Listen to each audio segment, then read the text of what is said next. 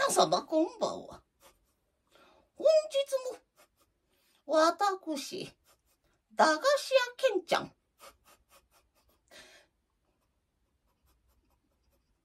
駄菓子屋けんちゃんが、ゼルニをお届けいたします。私、芸名を改名いたしました。駄菓子屋けんちゃん。ゼルニゼ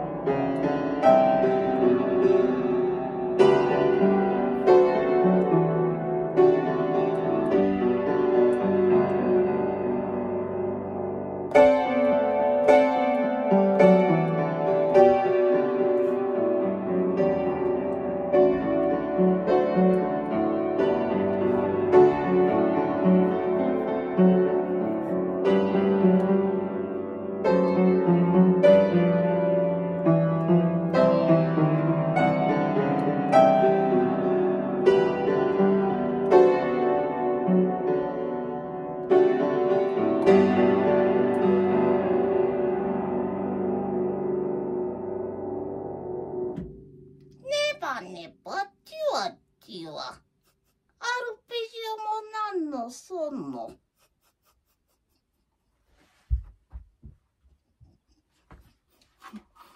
姫は姫でも、白雪姫に。ベル、オーロラ姫、七人の小人にジャスミン。どの姫が一番かな？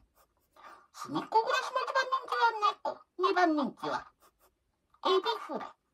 三番人気はタピオカ。四番トカゲ。五番。いろんなキャラクターがいますが、のび、のびすけ。骨川すねよ。源の静香ちゃん。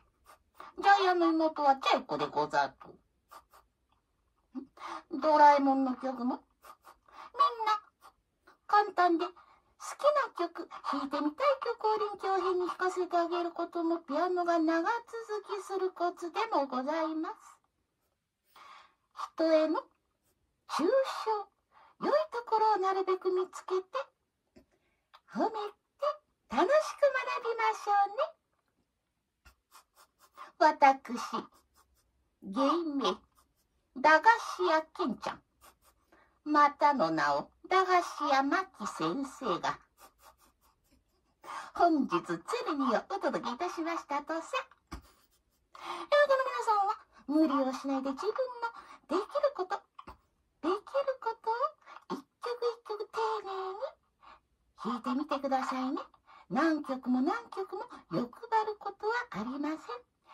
一曲ちゃんと丁寧に拍の長さもスラースタッカーとちゃんと弾けると丸。次のステップへどんどん進むことができます。できないのに次々次新しい曲へ行っちゃうといつか挫折。シャープフラットが多いわ。この曲難しいわ。だんだんピアノが難しくなってきたわと挫折しがちになりますが、それは誰にでも起こりうるプラトー現象というものです。きっと簡単な曲を課題として与えて弾いてみたい曲を楽しく歌いながら弾くことで乗り越えられることができます。難しい曲を弾かすよりも弾いてみたいアニソン、自分の興味のある曲を楽しく歌いながら弾くことです。どんどんドレミの音名で歌うことで聞く能力、絶対音感も身につきます。先生の真似をして、どんどんド、ミ、レ、レ、ファ、ミ、ミ、ソ、ファ、ラ、ソ、ファミレ、ド、ミ、レ、レ、ファ、ミ、ミ、ソ、ファ、ラ、ソ、ラ、シド。でも何でもいいと思います。先生の後、メロディーの後を旋律を作ってみたり、歌詞をつけて簡単な曲を弾き歌いができるととっても便利。ピアノの難しさからはおさらばできます。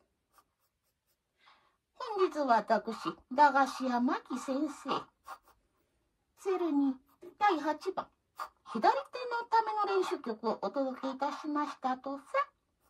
特に通常左手というのは本当に動かしづらい手でございます。子供たちも絆創膏を貼ったり夏場は特に汗もができる。子供たちも手が乾燥する。いろんな悩みを抱えておられますが一緒に楽しく絵を描いてあらかわいいわにゃあらおいしそうな肩ロースねうんあらおいしそうなテールだわテールというのはおしっぽポニーテールというのはおしっぽという意味でございます。フェアリーテールとは妖精の尻尾。テールにテールはテールでもテール肉というのがございますが、ポニーテールのテールは尻尾という意味でございます。それでは後ほど、駄菓子屋巻さん。また後ほど。